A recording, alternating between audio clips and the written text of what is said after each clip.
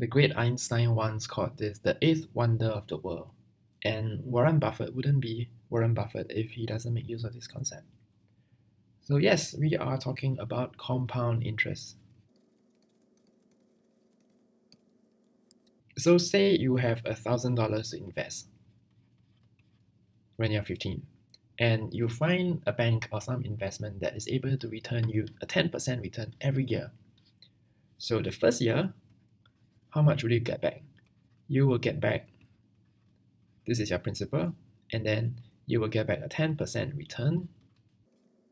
So 10% times this, you will have $1,100. Now the secret is the second year, you will get back not $1,200 but more.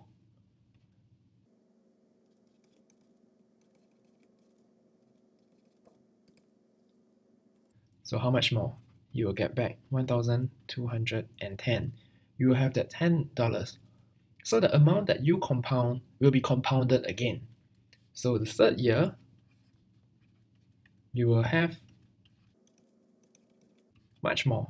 And if we were to use the same calculation, you will have $1,331. So when you start, this is zero, you have 1,000 and then after that you have 1100 1210 1331 now you can see a pattern here. And the pattern can be written like this. For every single year you are taking the principal. The principal is the original amount. And for every year because it's a 10% return you are taking the principal to be multiplied by 1.1 because this is 10% so if it's 20% it will be 1.2 so the second year, it will be the principal multiplied by 1.1 times 1.1. And the third year, it would be the same principal of $1,000 multiplied by 1.1. And then this whole value multiplied by 1.1. And then this multiplied by 1.1 again. Now the money that you get will be equals to the original amount, P, the principal, multiplied by the 1.1 in this case to the power of n.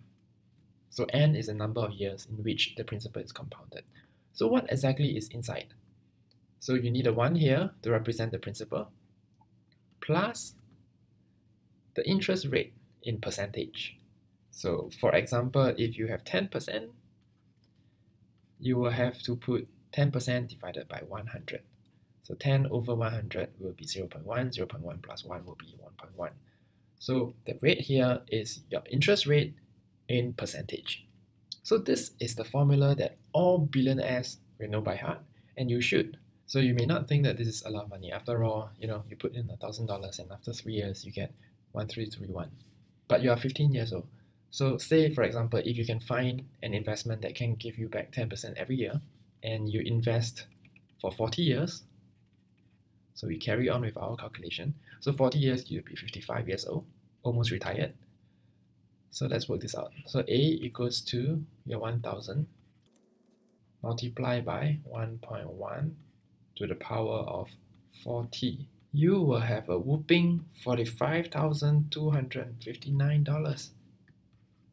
Now this is only $1,000. Imagine if you were to invest 10,000, you will have almost half a million. So the magic of compound interest is here.